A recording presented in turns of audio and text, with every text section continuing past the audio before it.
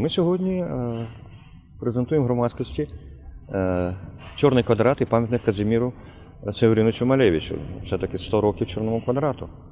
Е, прогресивне людство відзначає сьогодні. Я думаю, що Чернівці знов довели, що все-таки вони європейське місто з європейським майбутнім, бо Київ, де народився професор Малевич, неспроможно було щось створити подібне. А Чернівці створили. Чому? Тому що я люблю Чернівці, я тут народився. Я вважаю, що е, Чернівці все-таки, е, маючи ми- минуле колишнє, таке європейське, все-таки більш е, має шансів, чим Київ чи Львів, е, Тернопіль на європейське майбутнє. Громадськість, люди повинні все-таки думати, е, відчувати мистецтво. І е, для мене важливим є те, що мистецтво виходить на вулиці а не в музеях під охороною.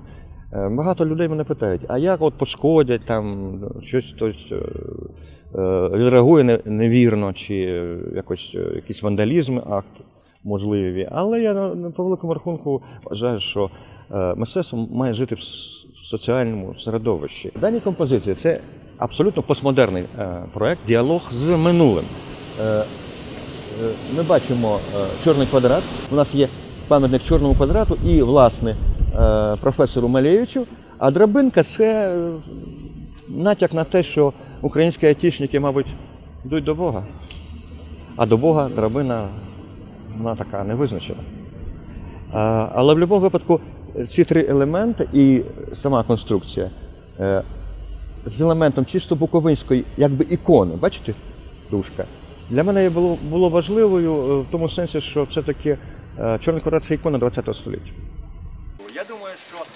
Цей артефакт ми залакуємо, е, покриємо спеціальним лаком. Ні, ні, це вже стане пам'ятник Каспруку тоді. Мені приємно, що розвивається мистецтво в Чернівцях. Е, Ми культурна столиця України, культурна і будемо претендувати на звання культурної столиці Європи в 2024 році. Тому чим більше буде таких заходів в різних сферах культури, да, і в мистецтві, і в музиці, е, тим, тим е, більше буде у нас туристів, і тим талановитіше і е, більш культурними будуть чернівчани.